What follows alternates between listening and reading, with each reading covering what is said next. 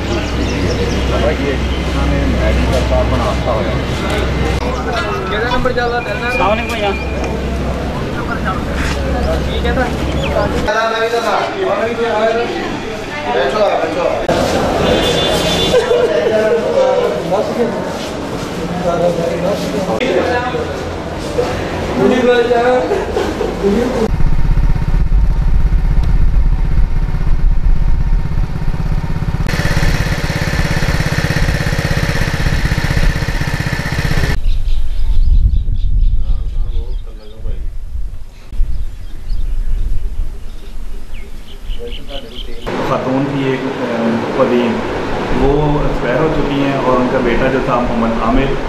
वो शदीद जख्मी था तो हमारे रेस्क्यूज ने वहाँ पे जाके उनको एडमिट किया है और उनको फ़र्स्ट एड देते हुए लिए कोशिश कर दिया। क्योंकि वो खतौन पहले से एक्सपायर हो चुकी थी, जिस वजह से उनको भी साथ ही लिए कर दिया, जहाँ पर फर्दर ट्रीटमेंट जारी है। तो ये हुआ ये था कि बाईपास के गोया रोड के करीब एक्सीडेंट हुआ था, जिसमें तेज़ सारी की वजह से गाड़ी उल्ट के सेम नहर में गिर गई है, जिसकी